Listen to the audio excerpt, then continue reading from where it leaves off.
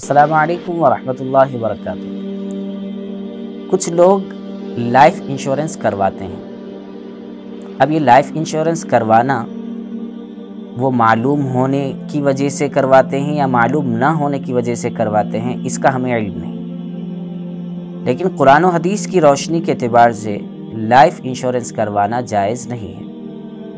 क्यों? इसलिए कि लाइफ इंश्योरेंस के अंदर जो बंदा अपनी लाइफ इंश्योरेंस करवाता है, वो और प्रोवाइडर चाहे वो प्रोवाइडर बैंक हो, चाहे वो प्रोवाइडर कंपनी हो, दोनों के दरमियान एक बात तय होती है।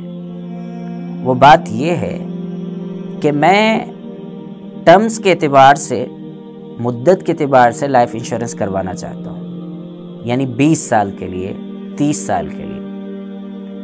जब मुद्दत तय कर ली जाती है पीरियड तय कर लिया जाता है तो उसमें ये बात होती है कि अगर आप इस मुद्दत से पहले इंतकाल कर जाएँ तो ऐसी सूरत में जितनी रकम आपने जमा की है, उससे बहुत ज़्यादा रकम हम आपको देंगे, आपके घर वालों को देंगे।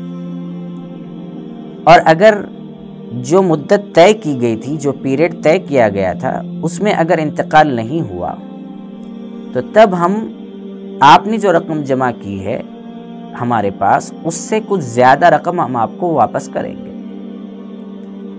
ये दोनों सूरतें और एक तीसरी सूरत होती है।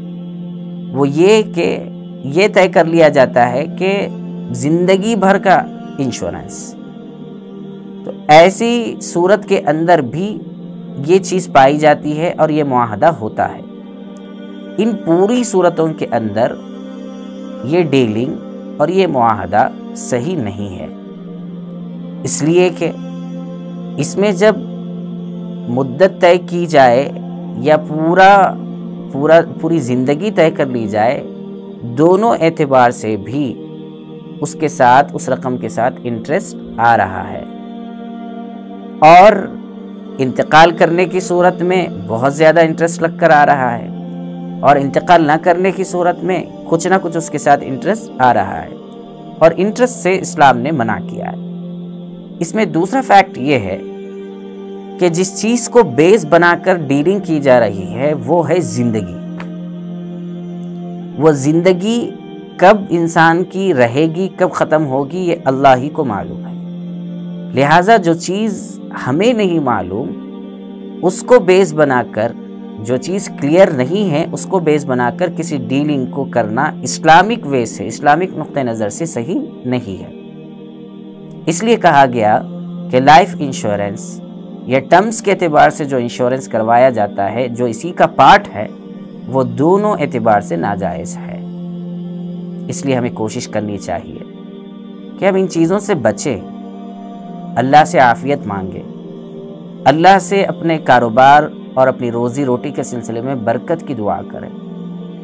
और ऐसी कोशिशें करें जिससे हम गुज़र जाएँ तो हमारे घर वाले आफियत के साथ ज़िंदगी गुजार सकें। लेकिन जिसने रोज़ी दी है, उसके हुक्म की ख़िलाफ़ वर्जी करते हुए अपने घर वालों के बारे में किसी चीज़ का अच्छा सोचना, ये इस्लामिक सोच नहीं है और इस्लाम इन चीज़ों से मना करता है। इन जैसी चीज़ों को आप ख़ुद भी जानें, समझें कि इस्लामिक तालीमत क्या हैं और दूसरों तक भी इन चीज़ों को पहुँचाने की कोशिश करें। आप, ये तमाम बातें बदाय सनाए, जिल नंबर 14 और जिल नंबर 17 पेज नंबर 432 पर देख सकते हैं। अल्लाह ताला हमें सही समझ और सही इल्म की तौफीक अता फ़रमाएँ।